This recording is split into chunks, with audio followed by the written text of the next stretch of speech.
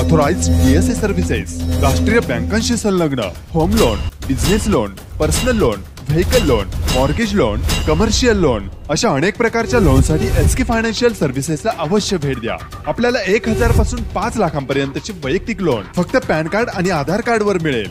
अधिक माहितीसाठी आम्हाला कॉल करू शकता किंवा ऑफिसला भेट देऊ शकता.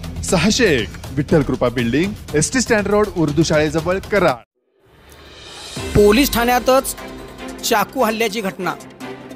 चाकू हल्ल्याच्या घटनेने कराड शहरामध्ये एकच खळबळ.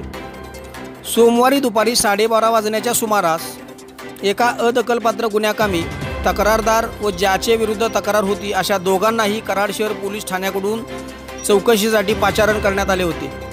त्यावेळी तक्रारदारावरच चाकूने हल्ला करण्याचा प्रकार आज घडला.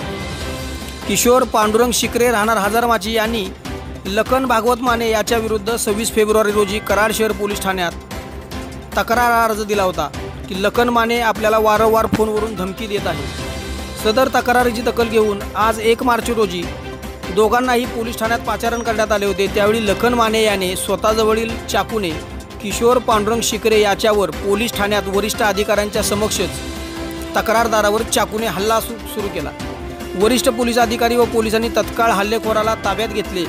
तर जखमी शिकरे याला कृष्णा हॉस्पिटलला उपचारार्थ दाखल केले. हल्लेखोरावर गुन्हा नोंद करण्याचे काम सुरू असून कराड शहर पोलीस ठाण्यातच चाकू हल्ल्याच्या घटनेने कराड शहरात एकच खळबळ उडाली असून एकोणीसशे पंच्याण्णव साली कराडमधील एका नगरसेवका सेवकावर पोलीस ठाण्यातच चाकू हल्ला झाला होता. या घटनेची आठवण आज झालेल्या या चाकू हल्ल्याने ताजी झाली. द न्यूज लाईनसाठी अमोल टकलेसह गणेश सातारकर. आज दुपारी साडेबारा वाजताच्या दरम्यानी कराड शहर पोलीस ठाण्याकडील दखलपात्र अपराध दोनशे नव्याण्णव आपली एकवीस पाचशे सात म्हणजे फोनवरून धमकी दिली होती.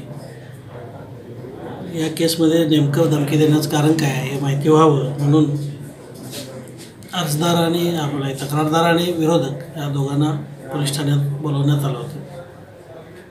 पोलीस ठाण्यात आल्यानंतर काही विचारणा सुरू करण्यापूर्वीच त्यातला गैरअर्जदार यांनी अर्जदार याच्यावरती चाकूने हल्ला केला.